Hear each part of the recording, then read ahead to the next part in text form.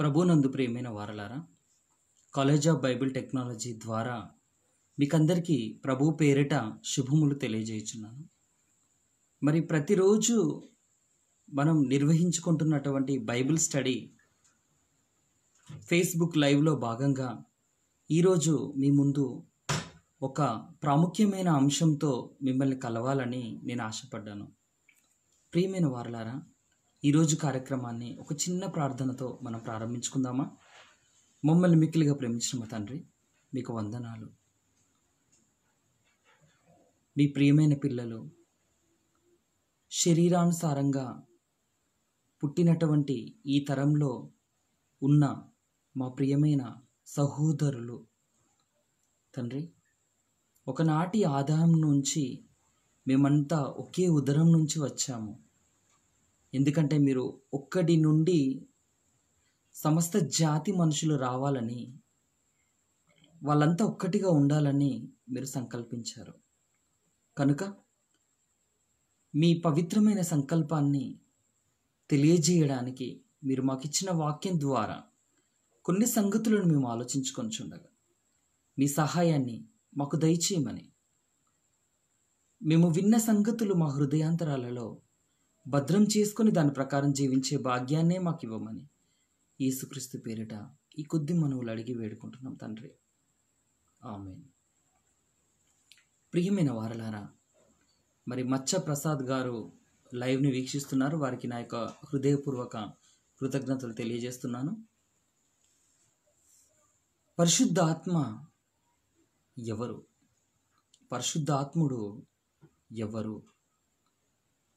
పరిశుద్ధాత్ముడు ఎవరు? చాలామంది క్రైస్తవులకు దేవుడు ఎవరో తెలియదు.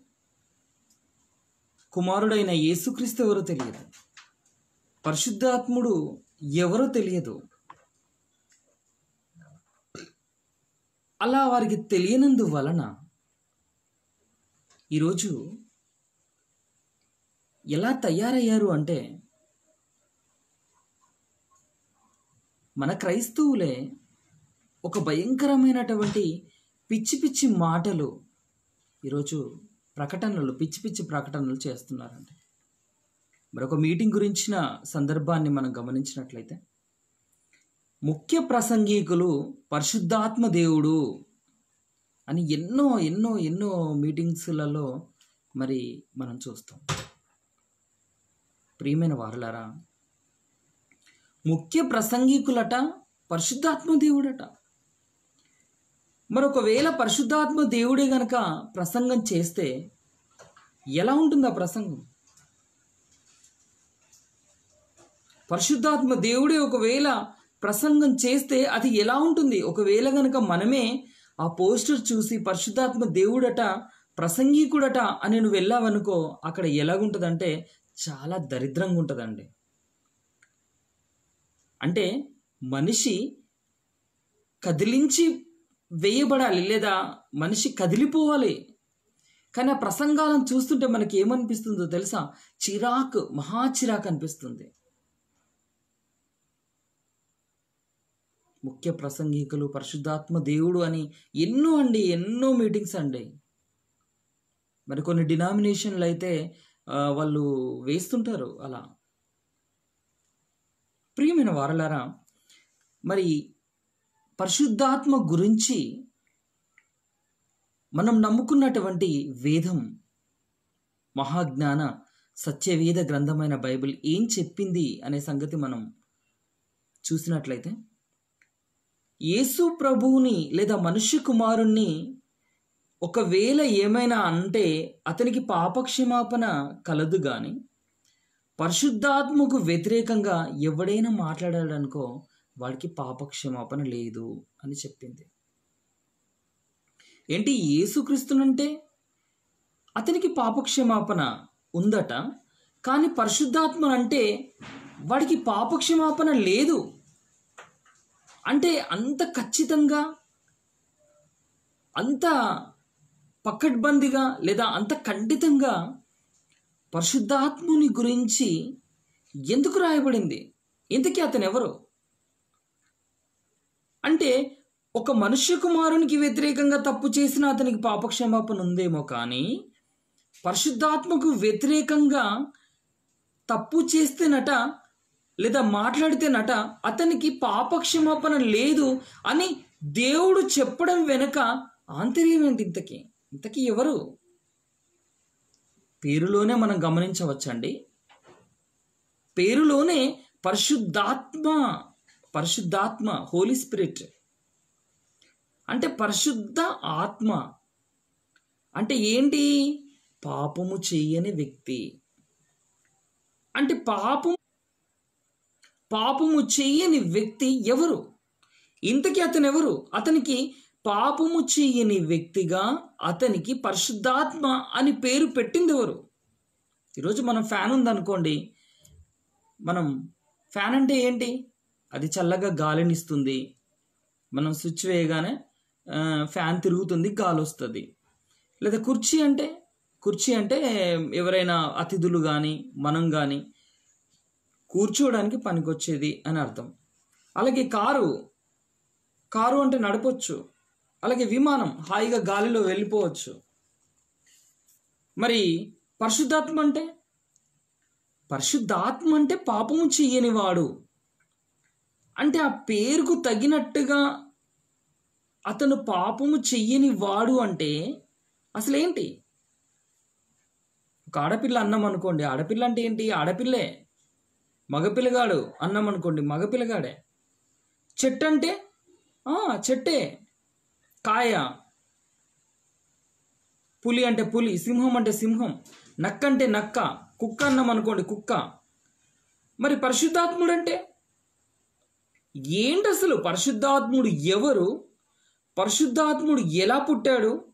అసలు పరిశుద్ధాత్ముని ఎవరికన్నారు అసలు ఈ పరిశుద్ధాత్మ అనే పేరును ఆ పరిశుద్ధాత్మకి ఎవరు పెట్టారు అనేది మనం ఈరోజు ఆలోచిస్తామండి.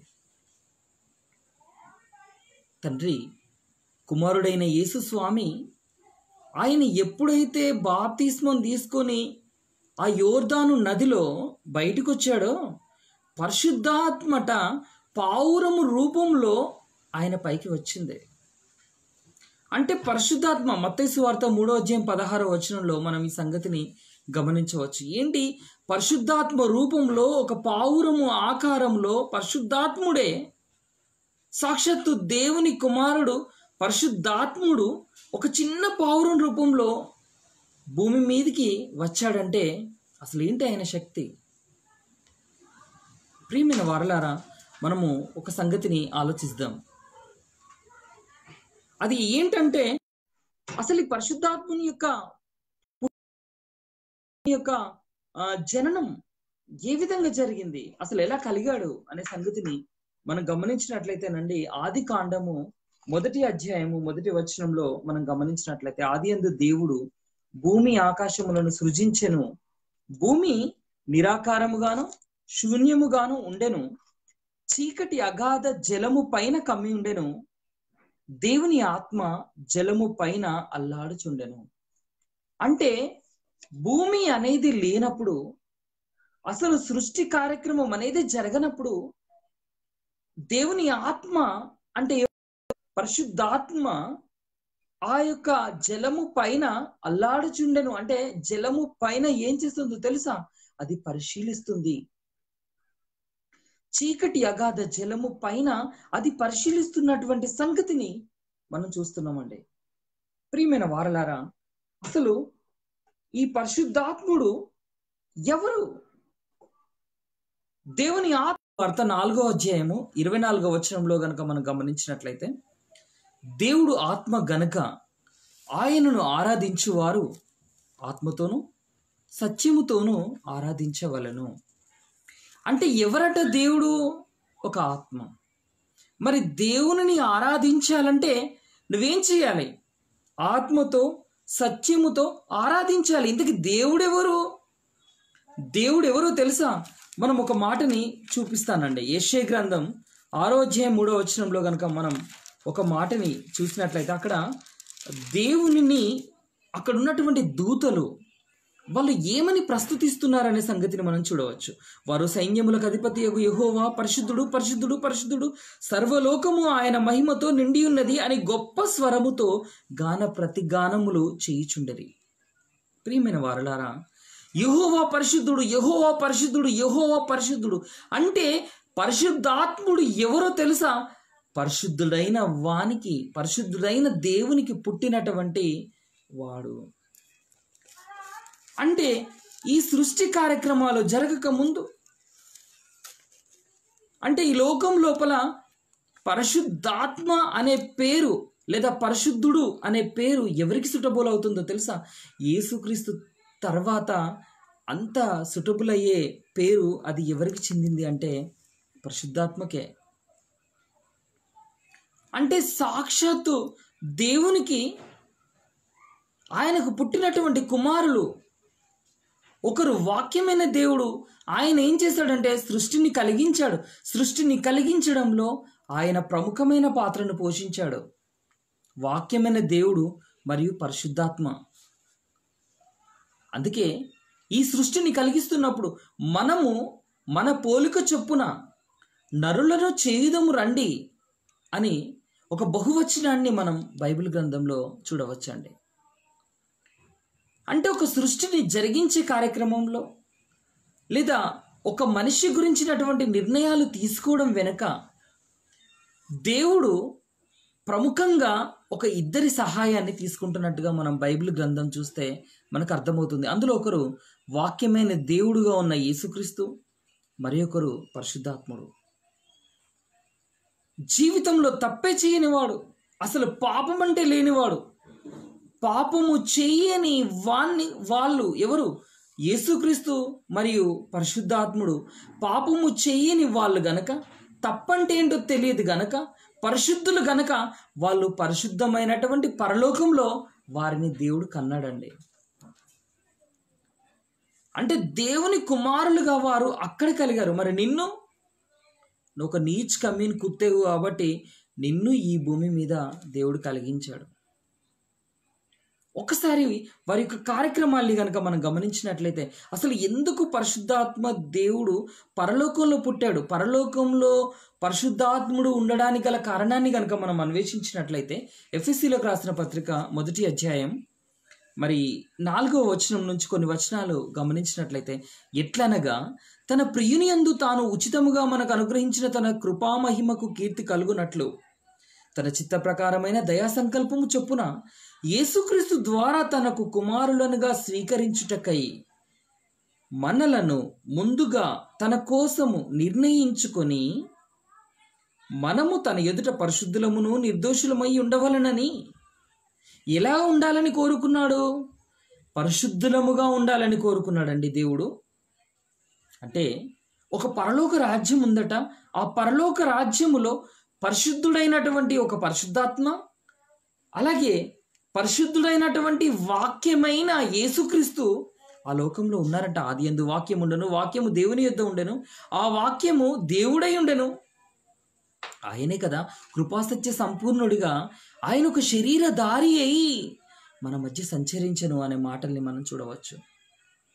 ప్రియమైన వారలారా ఒక సంగతిని మనం గనక ఆలోచించినట్లయితే ఈ భూమి మీద మనము తన ఎదుట పరిశుద్ధులముగా ఉండాలంటే పాప పంకిలమైపోయిన మనుషులను కాపాడడానికి సాక్షాత్తు యేసుక్రీస్తు ఏం చేశాడో తెలుసా? తన ప్రాణాన్ని సైతం ఒక పండులాగా కోసిచ్చి ఆయన ద్వారా యేసుక్రీస్తు ద్వారా మనలను స్వీకరించుటకై మనం ఎలా ఉండాలి? పరిశుద్ధులముగా ఉండాలని దేవుడు కోరుకున్నాడండి. అలా కోరుకున్నటువంటి ఆ పరిశుద్ధాత్ముడు ఆయన రాకముందు మనుష్య కుమారుడైన యేసుక్రీస్తు అయినా పాపులతో సహవసించవచ్చునేమో కానీ పాపులతో కలిసి ఉంటాడేమో కానీ పరిశుద్ధాత్మ దేవుడు అస్సలు ఉండడండి పాపం అనే దాని దగ్గర పాపం అనే దానితోటి చెలిమి చేయని ఒక స్వభావం పరిశుద్ధాత్ముడు. మరొక మనిషి ఈ భూమి మీద బ్రతికినటువంటి జీవిత కాలంలో అతను చనిపోయిన మరుక్షణమే అతను ఎక్కడికి వెళ్ళిపోతాడో తెలుసా? పాతాళంకి వెళ్ళిపోతాడండి. పాతాళం అనే లోకంలో పరదైసు మరియు నరకం ఇవి రెండు ఉంటాయి. అంటే పరదైసులో నువ్వేం చేస్తావో తెలుసా? నీకు ఒక ట్రైనింగ్ ఉంటుంది అక్కడ అంటే నువ్వు దేవుడు భీకరుడు దేవుడు చాలా భయంకరుడు దేవుడు చాలా స్ట్రిక్ట్. అంటే దేవుని దగ్గర నువ్వు ఎలాగ నడుచుకోవాలో నీకు నీతిమంతులు నెమ్మది పొందు స్థలమైనటువంటి పరదేశంలోకి వెళ్ళిపోతారండి. చనిపోయిన ప్రతి వాళ్ళు. ఎవరు? ఒకవేళ వాళ్ళు నీతిమంతులైతే. ప్రియమైన వారలారా మరి దేవుని నుంచి కలిగినటువంటి వాళ్ళు ఇద్దరే ఇద్దరు. ఒకరు వాక్యమైన దేవుడు ఒకరు పరిశుద్ధాత్ముడైతే మరి దేవదూతలు ఎలా కలిగారు? హెబ్రి పత్రికలు మనం గమనించినట్లయితే వారు సేవకులైన ఆత్మలు. రక్షణను స్వాస్థ్యము పొందబో వారికి పరిచారము చేయుటకై పంపబడిన సేవకులైన ఆత్మలు కారా? అంటున్నాడండి. అంటే అలా తయారైనటువంటి వాళ్ళు అలా ఈ భూమి మీద ఎలాంటి నేరము ఎలాంటి తప్పు చేయని వాళ్ళు ఈ భూమి మీద ఒకవేళ ఈ శరీరాన్ని బట్టి మనిషి నిజంగా పరిశుద్ధుడిగా బ్రతకగలడా? అది చాలా కష్టం అనుకునే వాళ్ళకి ఒక అడ్వర్టైజ్మెంట్ లాగా యేసుక్రీస్తు భూమి మీదకి వచ్చాడు. ఆయన తన శరీరంతో ఉండి అనేక పాపుల మధ్య ఆయన బ్రతికినప్పటికీ కూడానండి ఎలాంటి పాపంలో ఆయన పడలేదండి. పరిశుద్ధాత్మకు కూడా ఒకవేళ శరీరం ఉందనుకోండి అతను కూడా తప్పు చేయడు. అంటే ఒక మనిషి శరీరము ఉన్నప్పటికీ కూడా తప్పు చేయకుండా ఎలా బ్రతకొచ్చో మనకి ఉదాహరణగా ఒక మాదిరిగా మ్యాథమెటిక్స్ లోపల ఏ విధంగానైతే మాదిరి లెక్కలు ఏ విధంగానైతే ఉంటాయో అదే విధంగా ఒక మాదిరిగా యేసుక్రీస్తు వచ్చాడు అదే విధంగా యేసు స్వామి ఈ భూమి మీద నుంచి వెళ్ళిపోయిన తర్వాత మరి పరిశుద్ధాత్మ దేవుడు ఈ భూమి మీదకి రావడం జరిగింది. ఒక మాటను మనం బైబిల్ గ్రంథంలో పరిశీలిస్తాం హిబ్రిలకు రాసిన పత్రిక ఏడో అధ్యాయము ఇరవై ఆరో వచనాన్ని ఒక మాట దయతో మరి చూడవలసినదిగా నేను కోరుచున్నాం హిబ్రిలకు రాసిన పత్రిక ఏడవ అధ్యాయము ఇరవై ఆరో వచనాన్ని మనం గమనించినట్లయితే అక్కడ ఒక పవిత్రుడును నిర్దోషియు నిష్కల్ముషుడును పాపులలో చేరక ప్రత్యేకముగా ఉన్నవాడును. ఆకాశ మండలము కంటే మిక్కిలి హెచ్చైన వాడునైనా ఇట్టి ప్రధాన యాజకుడు మనకు సరిపోయిన వాడు అని వ్రాయబడింది. అంటే పాపులలో చేరలేదండి. యేసుక్రీస్తు పాపులతో సహవాసం చేసిన పాపాన్ని అతను క్షమించాడు. పాపాన్ని ద్వేషించి పాపిని రక్షించినటువంటి ఒక మహనీయుడు యేసుక్రీస్తు. జిక్కయ్య చాలా భయంకరమైన వ్యక్తి సుంకుపు గుత్తదారుడు.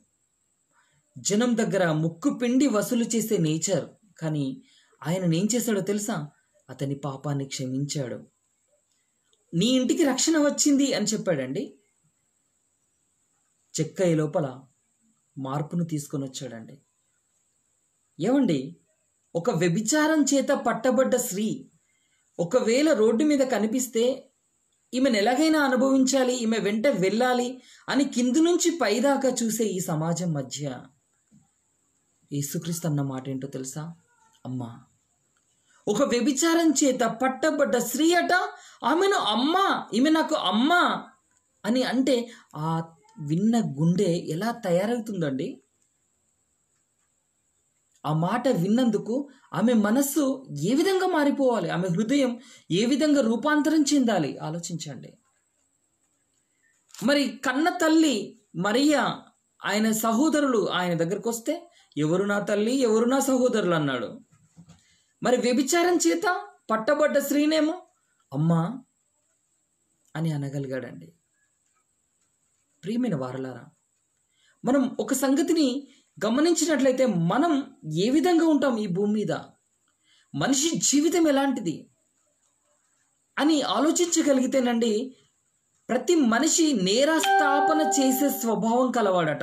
చూద్దాం రోమిలకు రాసిన పత్రిక ఎనిమిదో అధ్యాయము ఇరవై ఆరో వచనంలో కనుక మనం గమనించినట్లయితే అక్కడ మనిషి ఏ విధంగా ఉంటాడో మనిషి లోపలున్నటువంటి ఈ స్వభావానికి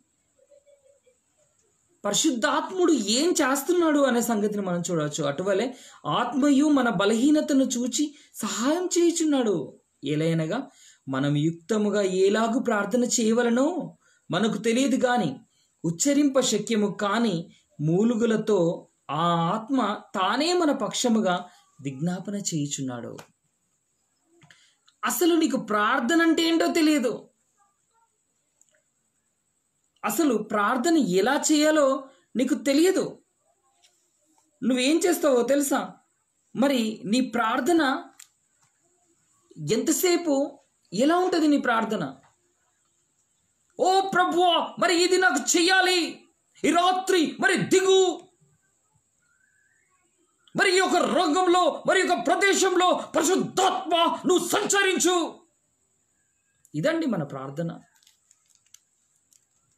ఏదో ఇంటి మీదకి వెళ్ళి గొడవ పెట్టినట్టు ఏదో పంచాయతీల ఎదుటివాన్ని మనం కట్ ఏదో టార్గెట్ చేసి బాగా అరిచినట్టుగా మరి మనిషి ఈ విధంగా ప్రార్థన చేస్తున్నాడు. కానీ నువ్వు చేస్తున్నటువంటి ప్రార్థన ఇది కాదని తెలిసిన పరిశుద్ధాత్మ ఉచ్చరింప శక్యము కాని మూలుగులతో మూలుగులండి మూలుగులు మూలుగులు. దేవుడు మూలుగులను వింటాడండి. దేవుడు కేకలేస్తే వినడు. ఉచ్చరింప శక్యము కాని ఒకనాడు ఐగుప్తు ప్రజలు ఐగుప్తు లోపల ఇస్రాయేలీలు వారి బానిస దాసి శృంఖలాల మధ్య నలిగిపోతున్నప్పుడు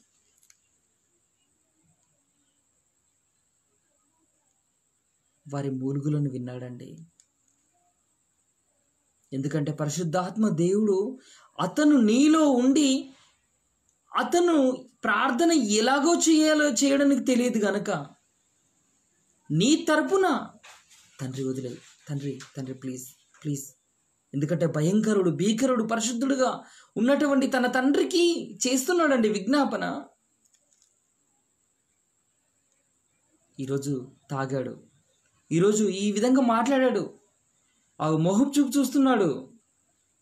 అతని హృదయం చెడిపోయింది. నీకు తెలుసు కదా తండ్రి డాడీ నీకు తెలుసు కదా? వదిలేయ్ ప్లీజ్ వదిలేయ్ వదిలేయ్.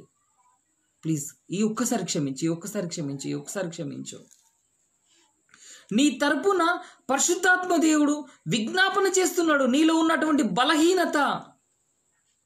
అంటే నువ్వు బలహీనతగా ఉన్నప్పటికీ కూడా నువ్వు బలహీనుడిగా ఉంటే అతను సహకరిస్తున్నాడు. అది చెడ్డది దాంతో తిరగకు అంటావు నువ్వైతే. వాడు చెడ్డవాడు వాడితో మాట్లాడకు వాడితో నీకేంటి మాటలు? అంటావు. కానీ పరిశుద్ధాత్ముడు ఏం చేస్తున్నాడో తెలుసా? నీ బలహీనతలను చూసి అతను సహాయం చేస్తున్నాడట నీ కొరకు. ఉచ్చరింపక శక్యము కాని మూలుగులతో నీ తరపున విజ్ఞాపన చేస్తున్నాడు. చూడండి ఆ మాటని మన అపోస్తుల కార్యంలో ఏడో అధ్యాయం ముప్పై నాలుగో వచనంలో మనం చూసినట్లయితే ఆయన మూలుగులను వింటాడు అనే మాటని మనం గమనించవచ్చు. ఆయన మూలుగులను వినేటటువంటి దేవుడు. మనిషి హృదయంలో ఉన్నటువంటి బాధ చెప్ప చెప్ప నశక్యము కానిది ఒక మంచి పదజాలంతో ఒక మంచి సాహిత్యంతో నువ్వు ప్రార్థన చేయటం కాదయ్యా. నీ ప్రార్థనలు పరలోకం చేరాలంటే దాని వెనుక మనస్సు ఉండాలి నీకు హృదయపూర్వకంగా నువ్వు చేయాలి నీకు బాధ నీకు ఆవేదన నీ మనసులోంచి అది రావాలి. అందుకే అది ఎలాగో నీకు రాదు గనక. పీకల దాకా తిని తాగేసి నువ్వు తొంగుంటొంగున్నావు గనక నువ్వు ఏం చేయాలంటే పరిశుద్ధాత్మ దేవుడు నీ తర నీ తరపున ఆయన మూలుగుతున్నాడండి. ఇంకొక మాటను చూద్దామండి. యోహన్సు వార్త పదకొండో అధ్యాయము. ముప్పై మూడవ వచనంలో మనం ఒక ప్రాముఖ్యమైనటువంటి సంగతిని మరి చూద్దాం. యోహన్ స్వార్త పదకొండవ అధ్యాయము ముప్పై మూడవ వచనం. ఇక్కడ మనం ఒక మాటను చూస్తామండి. ఆమె ఏడ్చుటయు ఆమెతో కూడా వచ్చిన యూదులు ఏడ్చుటయు యేసు చూచి కలవరపడి ఆత్మలో మూలుగుచు. అయితే ఇక్కడ సందర్భం ఏంటంటే లాజరు గారు చనిపోయారండి. మరి ఆమె అక్కడ ఉన్నటువంటి మార్త ఆమెతో ఉన్న వాళ్ళు కూడా ఏడుస్తున్నారండి. మరి ఏడుస్తున్నారు. ఆయన ఆయనతో మాట్లాడుతున్నప్పుడు ఏడుస్తున్నారు. అప్పుడు ఆయన ఆత్మలో మూలుగుచు కలవరపడి ఆత్మలో మూలుగుచు అన్నాడండి. మరి ఆత్మలో మూలిగాడండి. ఎవరు? యేసుక్రీస్తు. ఒక్కసారి గనక దేవునికి ఇష్టమైనటువంటి కుమారులు దేవుని యొక్క ప్రథమ కుమారుడు యేసుక్రీస్తు అయితే ఆయన యొక్క చిన్న కుమారుడు పరిశుద్ధాత్మ దేవుడు అండి ఒకవేళ గనక పరిశుద్ధాత్మ దేవునికే గనక ఏడుపు వచ్చేసింది అనుకోండి ఆయనే గనక బాధపడ్డాడు అనుకోండి వెంటనే తండ్రి అలర్ట్ అయిపోతాడు. తండ్రి తట్టుకోలేడండి తన చిన్న కుమారుడు మరి ఆయన ఏడుస్తుంటే ఆయన బాధపడుతుంటే తండ్రి తట్టుకోలేడు. కానీ చిన్న కుమారుడు ఏం చేస్తున్నాడో తెలుసా? నువ్వు ప్రార్థన ఎలా చేయాలో తెలియని నీకు ప్రార్థన ఎలా చేయాలో నేర్పిస్తున్నాడు. నీ తరపున తండ్రికి విజ్ఞాపన చేస్తున్నాడు. తండ్రితో మాట్లాడేంత అర్హత నీకు లేదు కానీ నీ తరపున తండ్రికి ప్రార్థన చేస్తున్నాడు. ఆయన నీ తరపున మూలుగుతున్నాడు రిక్వెస్ట్ చేస్తున్నాడు. చూడండి మరి యేసుక్రీస్తు ఈ భూమి మీద తన తనువును చాలించి ఆయన తన శరీరాన్ని తిరిగి పొంది ఆరోహణమై వెళ్ళుచున్నటువంటి పరిస్థితిలో జరిగినటువంటి ఒక మాటని గనక మనం గమనించినట్లయితే ఆయన అతను వెళ్ళడానికి ముందు మరి నేను ఏం చేస్తాను అక్కడికి వెళ్ళిపోయి అనే మాటను మాట్లాడుతున్నాడు. యోహన్ స్వార్థ పద్నాలుగో అధ్యాయము పదిహేను వచ్చిన పదహారో వచ్చినాన్ని కనుక మనం గమనించినట్లయితేనండి. యోహోన్ స్వార్థ పద్నాలుగో అధ్యాయం పద్ పదిహేను వచ్చిన పదహారో వచ్చిన నేను నా తండ్రిని వేడుకొందును మీ యొద్ద ఎల్లప్పుడూ ఉండుటకు ఉండుటకై ఆయన వేరొక ఆదరణకర్తను అనగా సత్యస్వరూపియగు ఆత్మను మీకు అనుగ్రహించును ఇది ఏం చేస్తున్నాడట? యేసుక్రీస్తు నేను నా పని పూర్తి చేసినా నేను వెళ్ళిపోయినా వచ్చేసినా తమ్ముని పంపించేసి అన- అనట్లేదండి. నేను తండ్రిని వేడుకుందును నేను తండ్రిని వేడుకుందును మీ యొద్ద ఎల్లప్పుడు ఉండుటకై అంటే మీ దగ్గర ఎల్లప్పుడూ ఉండాలి. నేను శరీరంతో ఉన్నప్పుడు కొన్ని మాటల్ని మాత్రమే మీకు చెప్పగలిగాను. కానీ మీరు ఆ మాటలని అనుగ్రహించి ఆ మాటల ద్వారా నిత్య జీవానికి చేరుకోలేరు. ఎందుకంటే తిరిగి దుష్టుడు మీ లోపల ప్రవేశించే అవకాశం ఉంది. కనుక మీరు సర్వసత్యంలోకి నడిపించబడాలంటే సర్వసత్యంలోకి మీరు వెళ్ళాలంటే మీకు ఎవరు కావాలో తెలుసా? ఆదరణకర్త కావాలి. కనుక ఆదరణకర్త ఏ విధంగా వస్తాడు? నేను వెళ్తాను. నేను వెళ్ళి డాడీ నాన్న నేను పని పూర్తి చేశాను నాన్న. నానా మరి నీ సంకల్పాన్ని నెరవేర్చడానికి నేను నా పనిని పూర్తి చేశాను. తమ్ముని పంపించవా? ప్లీజ్ నాన్న ప్లీజ్ నాన్న ఏ నాన్న ఎక్కడికి? వద్దా? వద్దు వద్దు వద్దు. మనుషులు ఎంత భయంకరులు అంటే మొదటి నుంచి దేవునికి సాక్షాత్తు దేవునికి హార్ట్ అటాక్ తెప్పించిన వాళ్ళండి. దేవుని కలవరపెట్టిన వాళ్ళు దేవుని మనస్సుని చాలా బాధ పెట్టినటువంటి వాళ్ళు అలాంటి వాళ్ళ దగ్గరికి తన ప్రియకుమారుడైన యేసుస్వామిని పంపించాడండి. ఆయన తన శరీరాన్ని నలగగొట్టినప్పటికి కూడా ఆయన తన శరీరాన్ని పండులాగా కోసిచ్చినప్పటికి కూడా ఎన్ని ఉమ్మి ఉమ్మి వేతలు ఎన్ని రా కొరడా దెబ్బలు ఎరుషలేము నగర నడివీధులలోంచి ఆయన సిలువను మోస్తూ వస్తున్నప్పుడు ఆయన అనుభవించినటువంటి బాధలు ఎంత భయంకరమైన పరిస్థితిని అనుభవించాడండి. ఆయనకి ఏం మిగిలింది పరువు? ఆయనని ఏం గౌరవించింది సమాజం? చాలా హేళన. తన ప్రాణాన్ని ప్రాణాన్ని తీస్తున్నారండి. ఆకాశానికి భూమికి మధ్య వ్రేలాడుతున్నాడు ఆయన దాహం అడిగితే కూడా చేదు చిరకనిచ్చింది ఈ లోకం.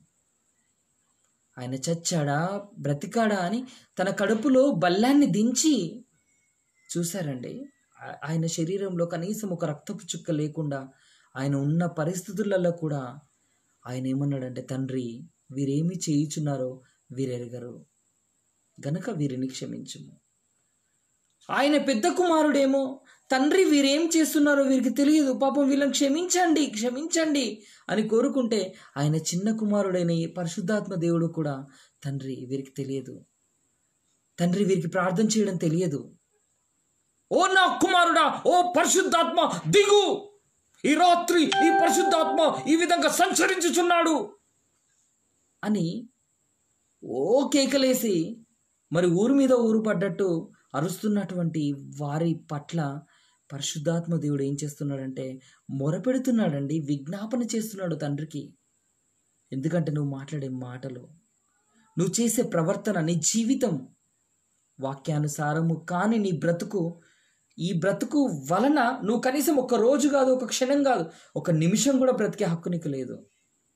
ఒక క్షణం కూడా ఈ భూమి మీద బ్రతికే హక్కు లేదు. అలాంటి నీచాతి నీచమైన నీచకమిని కుత్తెగా లాంటి నీ జీవితాన్ని ఆయన ఏం చేస్తున్నాడో తెలుసా? నిలబెడుతున్నాడండి. ఆయన అలా నిలబెట్టడానికి గల కారణం ఆయన చిన్న కుమారుడైన పరిశుద్ధాత్మ దేవుడు నీ తరపున తండ్రికి చేసే విజ్ఞాపన.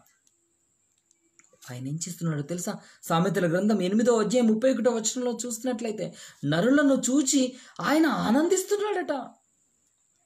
వాక్యమైన దేవుడు యేసుక్రీస్తు మరియు పరిశుద్ధాత్మ దేవుడు. నరులు చేసే తప్పిదాలు ఆదాము హవ్వలు. వారు పండు తినడము. వారు బట్టలు లేకుండా ఆ చెట్ల చాటుకి వెళ్ళడము. అవన్నీ చూస్తున్నారండి.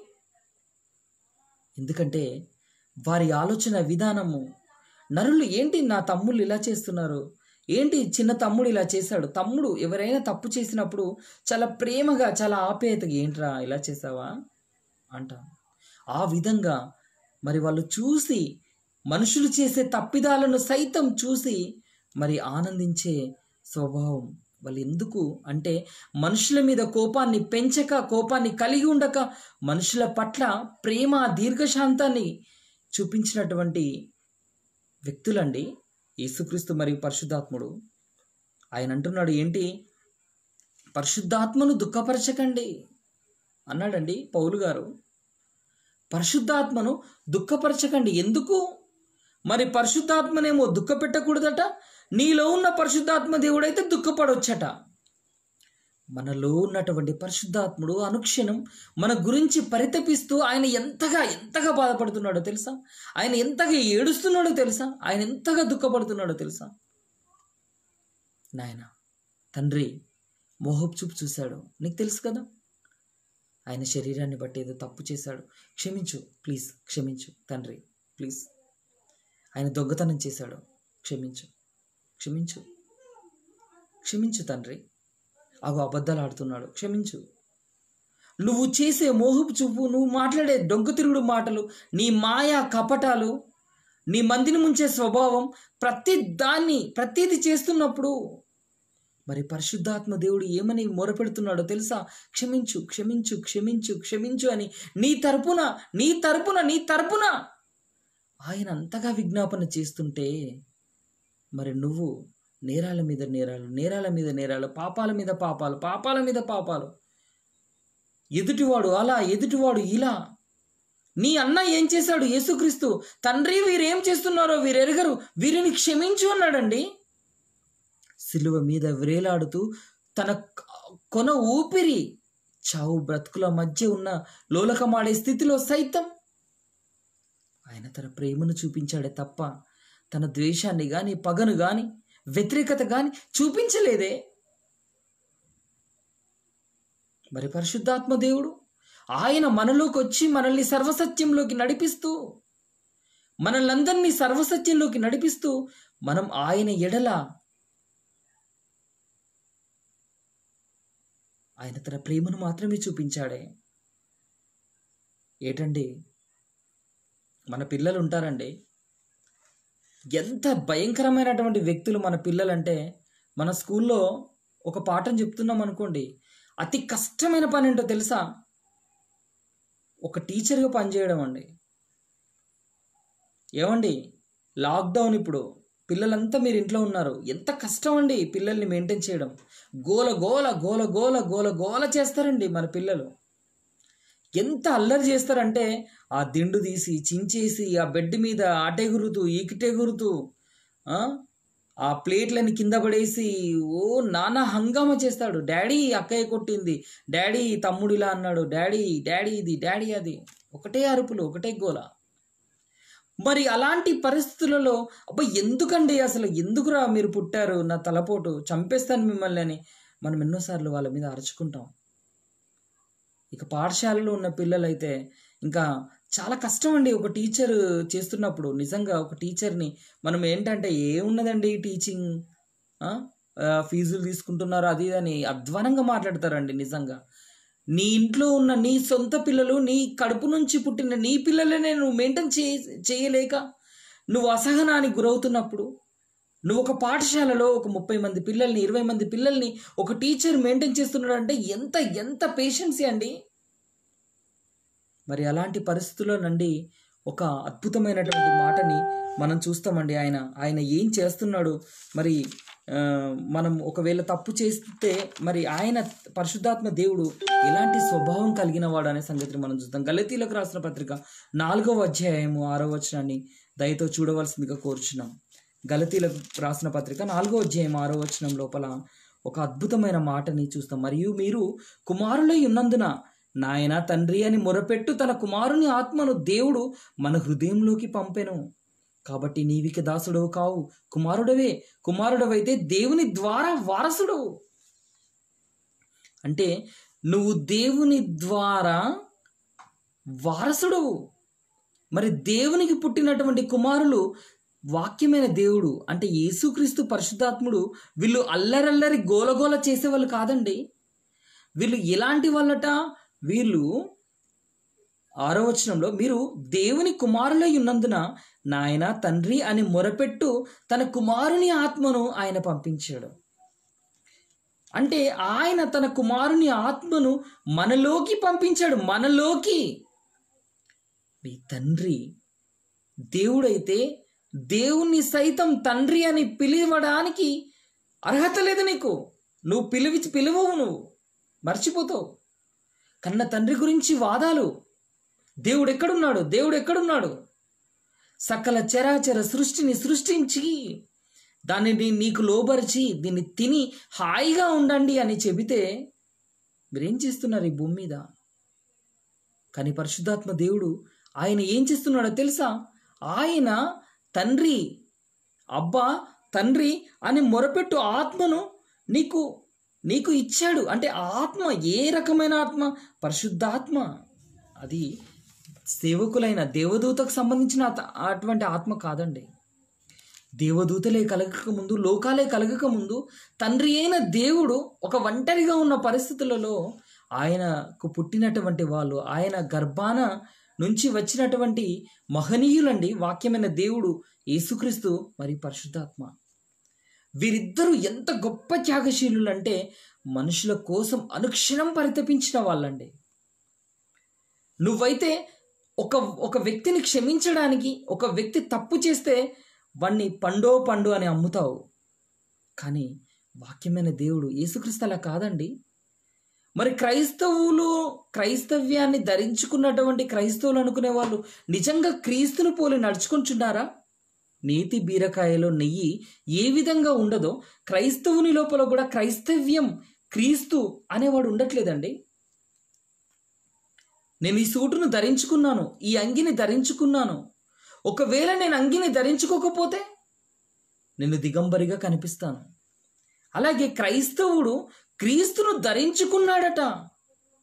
మరి క్రీస్తును ధరించుకున్నటువంటి క్రైస్తవుడు ఎలా ఉండాలి?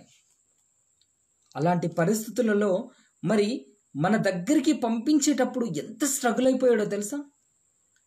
మొదటి కుమారుడు యేసుక్రీస్తు మనుషులందరినీ కాపాడాలని మనుషులందరినీ మంచి దారిలో ఉంచాలని ఎంతోమంది ప్రవక్తలు ఈ భూమి మీదకి వచ్చినప్పటికీ కూడా వాళ్ళ రక్తాన్ని కళ్ళ చూసింది ప్రపంచం తప్ప మనిషి లోపల మార్పు రాలేదండి.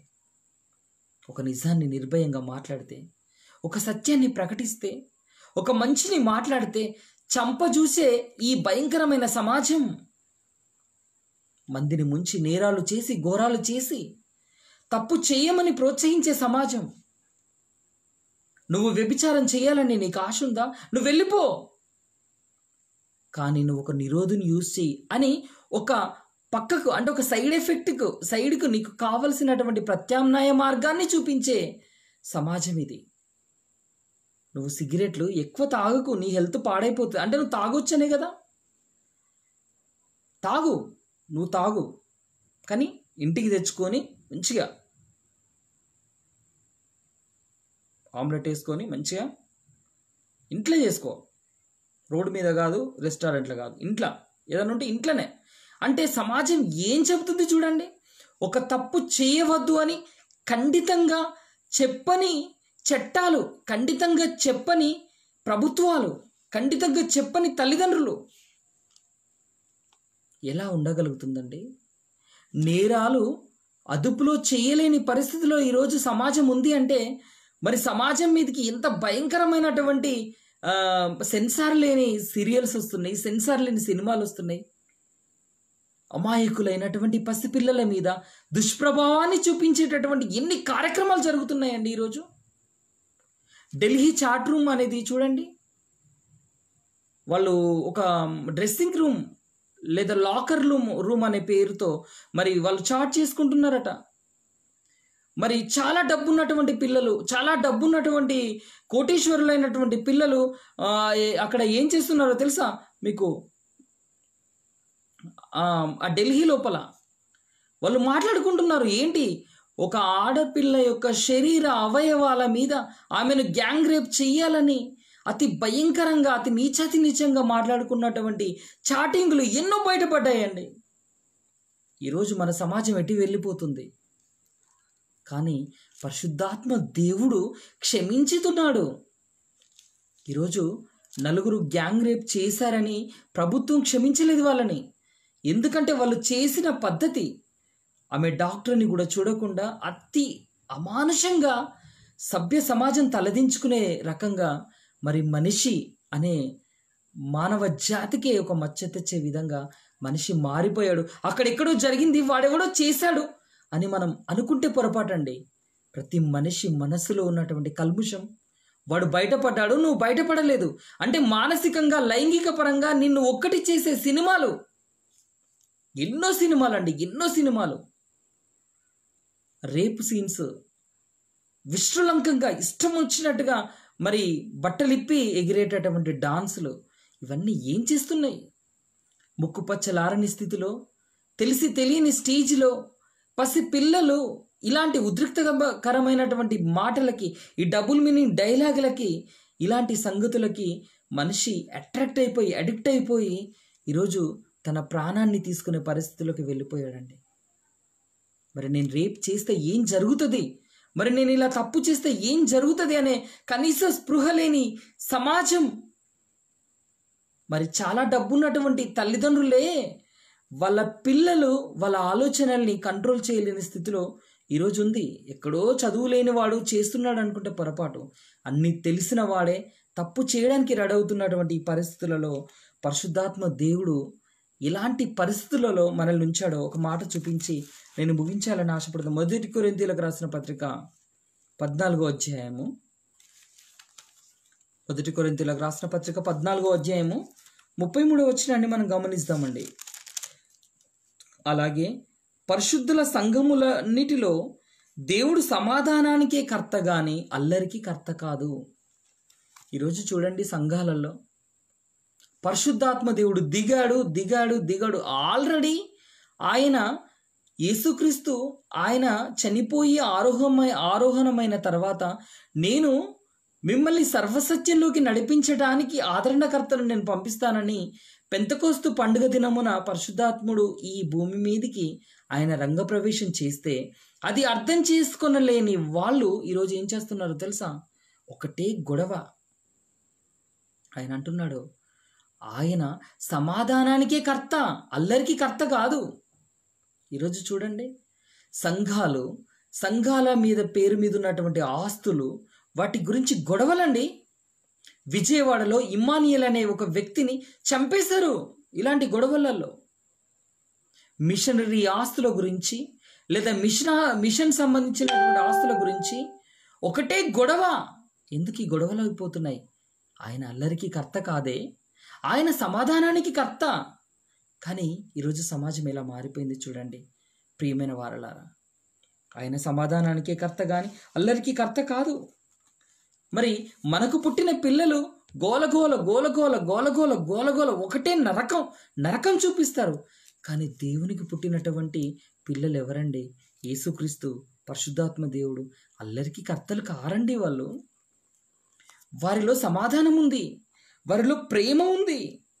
వారు ఎంతగా మొరపెడతారంటే మరి ఒక సంగతిని మనం గమనించినట్లయితే దేవుడు చేసే ప్రతి కార్యక్రమంలో వాళ్ళ సహాయము వాళ్ళ సహకారం ఉందండి.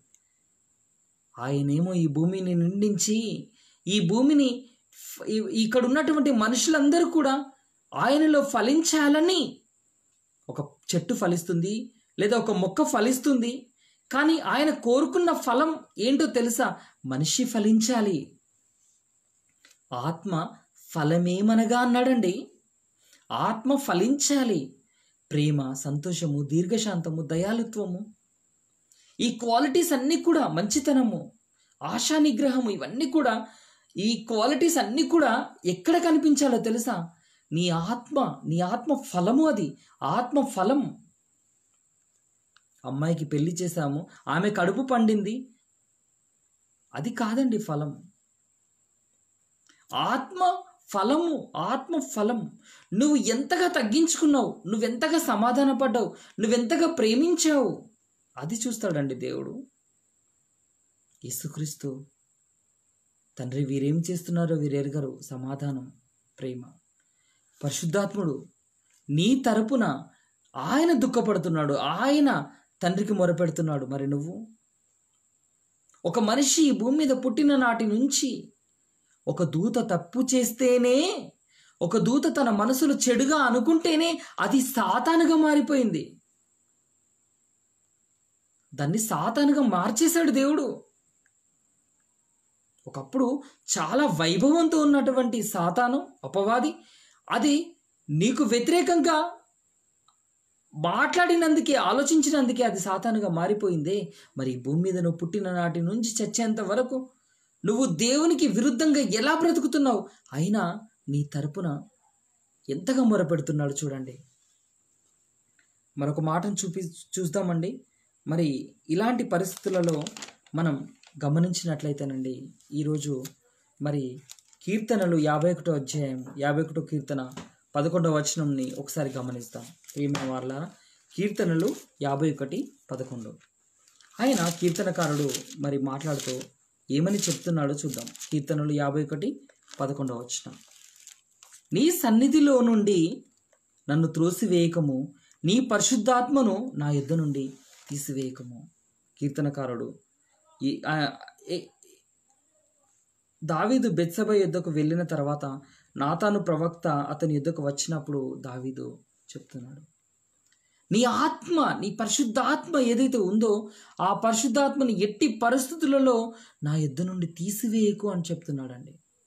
ఎంతగా నీ గురించి మొరపెట్టినా ఎంతగా నీ గురించి ప్రార్థన చేసినా ఎంతగా నీ గురించి తండ్రి క్షమించు క్షమించు క్షమించు అని చెప్పినా నీకు ఊహ తెలిసిన వయసు నుంచి ఇప్పటి వరకు ఇరవై సంవత్సరాలు ముప్పై సంవత్సరాలు నలభై సంవత్సరాలు యాభై సంవత్సరాలు ఎన్ని సంవత్సరాలు నీ గురించి మొరపెట్టినా నీ లోపల మార్పు లేదే.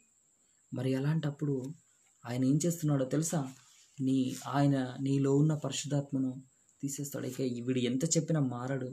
ఇక మనం ఉండే ప్రయోజనం లేదని. పరిశుద్ధాత్మ దేవుడు ఎప్పుడైతే బయటకు వచ్చేస్తాడో అప్పుడు ఒక భయంకరమైనటువంటి నీచ్ కమీన్ గాడు ఎంటర్ అయిపోతాడు.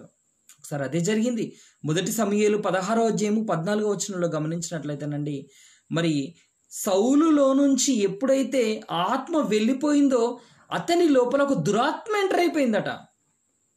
అంటే నువ్వు ఎప్పుడైతే పరిశుద్ధాత్మను నిర్లక్ష్యం చేస్తావో అప్పుడు ఒక దురాత్మ ఎంటర్ అయిపోతుంది. రోమిలకు రాసిన పత్రిక మొదటి అధ్యాయం ఇరవై ఎనిమిదో వచనంలో మరి గమనించినట్లయితే వారు చేయరాని కార్యములు చేయుటకు భ్రష్ట మనస్సుకు వారిని అప్పగించెను అని ఉంటుంది.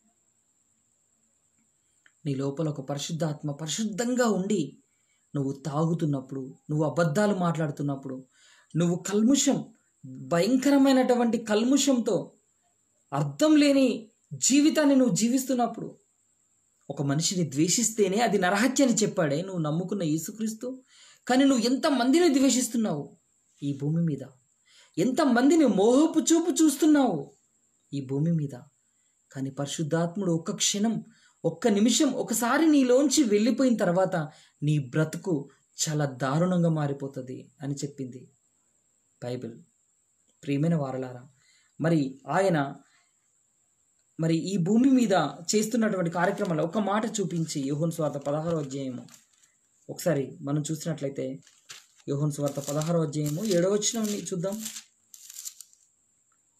అయితే నేను మీతో సత్యము చెప్పుచున్నాను నేను వెళ్ళిపోవటం వలన మీకు ప్రయోజనకరము. నేను వెళ్ళని ఎడల ఆదరణకర్త మీ యుద్ధకు రాడు. నేను వెళ్ళిన ఎడల ఆయన మీ యుద్ధకు పంపుదును. ఆయన వచ్చి పాపమును గూర్చియు నీతిని గూర్చియు తీర్పును గూర్చియు లోకమును ఒప్పింపు చేయను నేనైతే పాపక్షమాపణ మీకు ఇచ్చాను పాప క్షమాపణ గురించి భూమి మీద బ్రతకాల్సినటువంటి జీవితానికి ఒక మాదిరిగా నేను చూపించాను. కానీ నేను వెళ్ళిపోయిన తర్వాత ఆదరణకర్త ఎప్పుడైతే వస్తాడో ఆయన మిమ్మల్ని సర్వసత్యంలోకి నడిపిస్తాడో ఆయన నీతిని గురించి పాపము గురించి ఆయన మిమ్మల్ని ఒప్పుకునేటట్టుగా చేస్తాడు. ఆయన మీకు బోధిస్తాడు. కదండి పరిశుద్ధాత్ముడు అంటే ఆయన మీకు బోధిస్తాడు. ఒక మనిషి చేసేటటువంటి భయంకరమైనటువంటి నేరాలు దొంగతనం నీకు తెలుసు అది నేరమని వ్యభిచారం నీకు తెలుసు అది నేరమని నరహత్య నీకు తెలుసు ఇది నేరమని ఈ భూమి మీద ఇవే నేరాలు ఇవే పాపాలు అనుకుంటావు కానీ మరణకరమైన పాపం మరొకటి ఉందని మరణకరము కాని పాపము మరొకటి ఉందని మరణకరమైన పాపానికి పాపక్షమాపణ లేదు అని దాని గురించి ఒప్పించడానికి పరిశుద్ధాత్మ చే దేవుడు చేస్తున్నటువంటి కార్యక్రమాలు ఈ భూమి మీద ఎన్నో ఉన్నాయండి. ఒక మనిషి జీవితంలో ఉండి. ప్రియమైన వారలారా మరి పరలోకంలో పరిశుద్ధులుగా ఉండాల్సినటువంటి పరిశు పరలోకంలో పరిశుద్ధులుగా ఉన్నటువంటి తండ్రికి పుట్టిన పరిశుద్ధాత్ముడు యేసుక్రీస్తు వాళ్ళంతా భూమి మీద దిగిపోయి నీ కొరకు వస్తే నువ్వు ఈ భూమి మీద హాయిగా ఆయన కుమారునిగా పరిశుద్ధంగా జీవిస్తే ఆనందించాలని వారు కోరుకుంటే మరి ఈరోజు నువ్వేం చేస్తున్నావో తెలుసా? ఆయన మెచ్చుకునే రకంగా నువ్వు బ్రతకక ఆయన నొచ్చుకునే రకంగా నువ్వు బ్రతుకుతున్నావు. కనుక మరి ఈ భూమి మీద మనిషి జీవితం ఎలాంటిదో పరిశుద్ధాత్మ దేవుడు చేసే కార్యక్రమాలు ఎలాంటివో మనం కొన్ని సంగతుల్ని నేర్చుకున్నాం. కనుక ప్రియమైన వారలారా మరి పరిశుద్ధాత్మ దేవుడి పేరిట ఈరోజు సమాజంలో జరుగుతున్నటువంటి భయంకరమైనటువంటి కార్యక్రమాలు మరి వాక్య విరుద్ధమైనటువంటి కార్యక్రమాలు ఏంటో మరి ఒక రోజు డిస్కస్ చేసుకుందాం. అంతవరకు దేవుని సన్నిధి మన మధ్య ఉండును గాక. అందరికీ నమస్కారం. College of bible technology Warangal ఆధ్వర్యంలో నిర్వహించబడుతున్నటువంటి ఈ కార్యక్రమానికి మిమ్మల్ని అందరినీ ప్రేమపూర్వకంగా ఆహ్వానిస్తూ మరి వరంగల్లో నిర్వహించబడుతున్నటువంటి ఈ కార్యక్రమంలో మరి మీకు కూడా ఈ కార్యక్రమం సంబంధించినటువంటి విషయాలు తెలియాలంటే మేము వివరించడానికి సిద్ధంగా ఉన్నాము. మరి ప్రిన్సిపల్ సదానందం అన్నయ్య గారు మరి లెక్చరర్స్ మరి కరస్పాండెంట్ గనిపాక కుమార్ గారు మరి లెక్చరర్స్ ప్రభు అన్నయ్య గారు వీరందరి ద్వారా నడిపించబడుతున్నటువంటి ఈ బైబిల్ కళాశాల. మరి మీకు వాక్యం నేర్పించడానికి సిద్ధంగా ఉంది. మరి లాక్డౌన్ అనంతరం మనమందరము భౌతికంగా కలిసి అనేక కార్యక్రమాలు చేయడానికి all India true Christian council మరియు బైబిల్ ఓపెన్ యూనివర్సిటీతో వర్క్ చేయాలని మిమ్మల్ని అందరినీ మనస్ఫూర్తిగా కోరుకుంటూ మానవ ఆలోచనలకు అందని సంగతుల్ని మీకు వివరించడానికి మేము సిద్ధంగా ఉన్నామని తెలియజేస్తూ ఈ కార్యక్రమాన్ని ముగిస్తున్నాను ప్రైజ్ రామ్